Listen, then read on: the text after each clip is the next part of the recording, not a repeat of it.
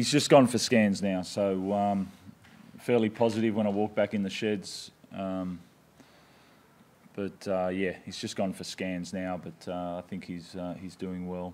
When you say positive, mate, would he be right for Origin, or you wouldn't know? Yeah, I can't. Obviously, I can't give that. I actually haven't seen him yet. I'm only sort of getting second-hand feedback, so we'll probably have to wait on that. Uh, probably not. I'd say with the ankle, watching him run there, out on the field there, it's usually it would hold up a little bit better than that if it's probably a one weeker. Um, but he was having trouble running there, and uh, you know that that's usually a bit longer, I'd say.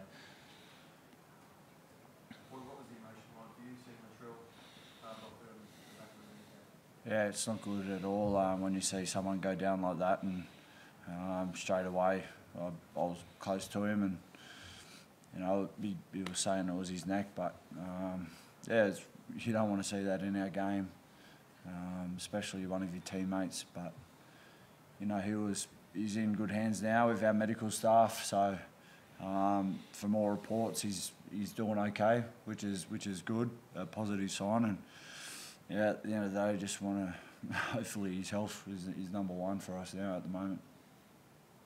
It was a great performance, wasn't it? Yeah, it was. Start, some individuals were great. Oh, I thought the team was great. I thought we set it up well in the first half. I thought we were strong. Uh, every, I think everyone played their part in that. Um, and I thought we were quite physical. And I know we got some tries, but we, we set it up well early. Um, and then by, you know, the second half, uh, I thought we started the second half well, and then it, uh, it became quite stop-start. I think after that, I thought we probably left a couple of tries out there um, at the back end. I think we just missed some opportunities that we, we, we probably should have executed. Would have liked to have sort of gone into the fours there somewhere with, with some of that execution, and um, I think there was enough time. But um, yeah, it wasn't to be. I thought it was a, a good platform laid. Jared plays 80 minutes with that. Yeah, yeah. I think uh, obviously Siwa uh, having a baby boy today was uh, positive for the club and and for him. And um, I'm not sure if that got across the reason he couldn't play today. Um, and then uh, Jared, you, you don't plan on that. You've got to wait and see how a player is going to perform during the um, you know the first 25, 30 minutes. I, he got to half time, and then I was probably thinking around 50 55 for him in the second half, and then he was just moving strong, carrying strong, leading from the front. Um, and he's got a big motor, and, and he deserved to play the 80 minutes. Even at the end there, it's sort of you could have easily got him off, but to play 80 minutes as a prop is a, is a real big tick, and he deserved it.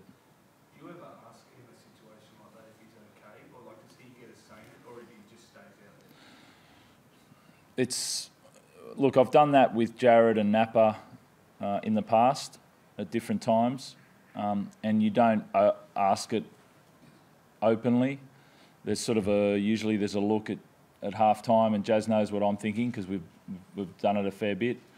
Um, and I looked, and and you sort of know, you know if you're going to leave him out there, and uh, there was yeah, it's unspoken, but there is a there's some non-verbal communication that goes on there. Yep. Yeah, he's had he's had many great games. He's had many great games, and you know, um, yeah, he's uh, he's been working towards that um, and getting better, and he's he's got a lot more left.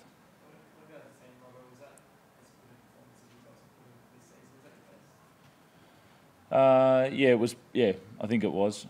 I said to the boys after the game that I thought it was our best performance so far, but it's laid a platform for where we need to go. I don't think it's something. I don't think it was out of the box. I don't think it was extraordinary play that got us there. I thought it was. Uh, it was uh, consistent quality, sort of intense footy from 17 guys. Um, so it was something that we can repeat often. Well, it seemed to be a fairly physical game. You did like obviously felt that way. Yeah, we um, we knew we had to turn up and be physical with with Penrith. Um, with the way they're going this year, they've been dominating some teams through the middle and with their forward pack, with their running. So uh, we knew we had to start really fast and. Um, I thought we'd done that, and it sort of gave us energy there, and uh, it gave us a real good platform to play off.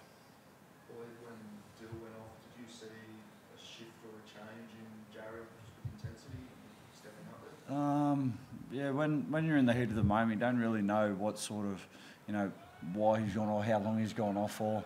Uh, you're just focused in the moment, but um, I'm sure Jared was thinking the same, um, you know, about his job and, and what he had to do to, to get the best out of himself and, and what would um, the best for the team. And that was him tonight playing 80 minutes. He had to do his job for the team and he done it really well.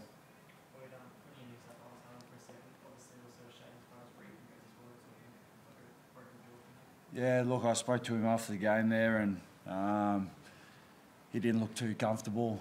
Um, yeah, it's pretty certain that it, I think he's broken his jaw. He has to go for scans, but you know, fingers crossed. Um, you know, he's been awesome this year, and uh, he was a massive part, uh, massive uh, for us in, in game one. But yeah, I'm not really thinking too far ahead. I'm, I'm really you know, happy with our performance tonight, and um, we'll deal with that when when um, the time comes. Boyd, the suggestion of a bit of a high shot you did on Corey, Arrow and Ira late in the game, and came to split lift complete. Anything to worry about there? Uh, no, I don't think that was a penalty. Um, I I think it was all right. I looked at it on the thing, but how how Luke hit him, um, it sort of brought his, his body down, and I didn't swing with my arm or anything. And I think the rest would have picked that up anyway, so I don't think I have much to worry about at all. Oh, Robo, so we just saw uh, Blake, Blake Ferguson towards the end there, so anything going No, I don't know. He's fine. It's only a bit of a bump there and a bit of a limp. I think it was more precautionary to get him off. And thanks. Thank you.